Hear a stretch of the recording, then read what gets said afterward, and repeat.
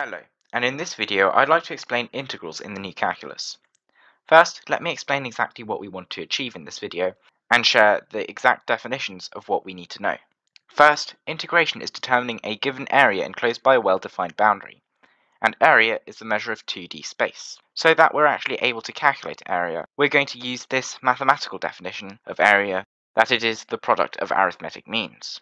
To explain exactly why this definition is good, consider this rectangle. Obviously, we can find the area by multiplying the length by the height.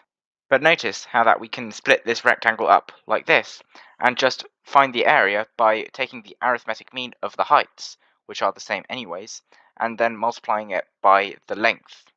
Quite clearly, this is going to give us the same area. As a matter of fact, it doesn't matter how many times we split up this rectangle, because all the heights are the same, we're going to always yield the same area as a result of finding their arithmetic means and multiplying it by the rectangle's length. Now consider this irregular area. Of course, to find the area, we can just find the area of each rectangle individually and add up all the area. But alternatively, we can just find the arithmetic mean of all the heights and then multiply by the length of this shape. This is because the arithmetic mean does nothing but redistribute all the heights evenly and thereby redistribute all the area evenly, transforming the irregular shape into a rectangle with the same area. This is exactly what arithmetic mean means. It is important to understand that no area has been removed by this procedure. Area has only been rearranged. And also from the formulas themselves, it's quite easy to tell that they're the same by the distributive property. So in essence, this is how we find areas. We just redistribute all the heights so that they're all the same and then multiply by the length of the shape. This also holds for a triangle. We can derive its area formula by splitting the triangle up like this and rearranging. Now we have made all the heights the same, and now we are able to multiply the length by what evidently is the arithmetic mean of the heights. And in order to adopt more reflective terminology of what we're actually doing, from this point on I will refer to arithmetic means as level magnitudes. So to extend this idea of finding areas of shapes to functions, it is logical that the area under a given function would just involve finding the level magnitude of all its heights and then multiplying it by the interval width. In order to do this in the easiest way, we surprisingly have to think of the function g as the derivative of some other function f, where, for reference, f can look something like this. So now it becomes clear that finding the level height of f prime of x is the same as finding the level slope of f of x between a and b. The level slope of f of x between a and b is given by f of b minus f of a over b minus a. If you're skeptical, don't worry, I'll prove it shortly. And to express finding the level height of f prime of x between a and b, we're going to use a new symbol.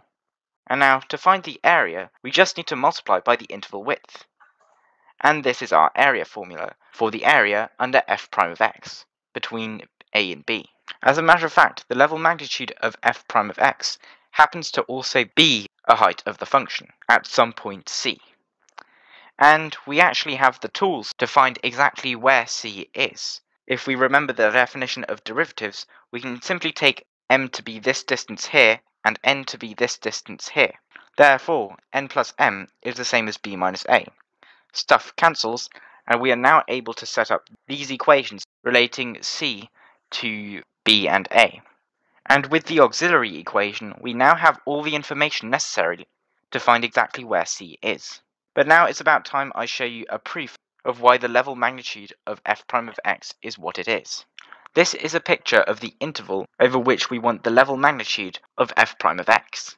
Now, we can split this interval up into k subintervals. This allows us to identify some points along the interval, and the endpoint will, will just end up being b minus a over k times k plus a, which is fine because it simplifies to b anyways. Now, on these subintervals, we will have some points whose derivatives can simply be determined from the endpoints of the subinterval. The reason why this is possible is because this is the definition of derivative at each mu, where n and m are distances from mu that produce the derivative. Now these mu's are special in the sense that adding n to a mu results in the upper interval limit, and subtracting m from mu results in the lower limit for the interval. That's exactly why mu's exist, for which these fractions produce the derivative. But now we're interested in the level magnitude of f prime, which is quite clearly this expression which I wrote down over here. Now let's work with this expression and simplify it. We can quite clearly take the b minus a over k out of the denominator, and the k's cancel. And now, quite clearly, what we have here is a forwards difference with respect to s, and by a very important summation difference theorem, which I will prove in a different video, this expression can be simplified to this. Now, all we need to do is simplify this, and there we have it. The level magnitude of f prime of x in the interval from a to b is f of b minus f of a divided by b minus a. Okay, now let's see a specific example of how we can use this to find specific areas.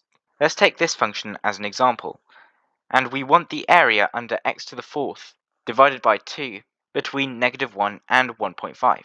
We derived the area formula earlier, and let's just plug in everything that adapts to this specific case. Quite clearly, the most straightforward way to find the area is by simply finding a function whose derivative is x to the fourth divided by 2. An example of such a function is x to the fifth over 10.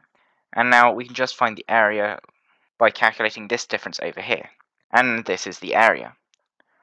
Alternatively, we could of course find the level magnitude of x to the fourth over 2 between 1.5 and negative 1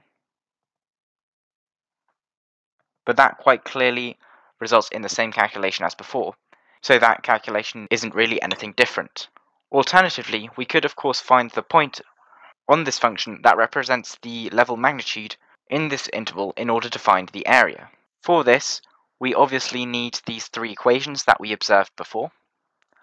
And for specifically x to the fourth over 2, these equations look like this. And now we just need to solve for c. Okay, good. We solved C. Now let's replace f prime of c with what it is and plug in c into this equation.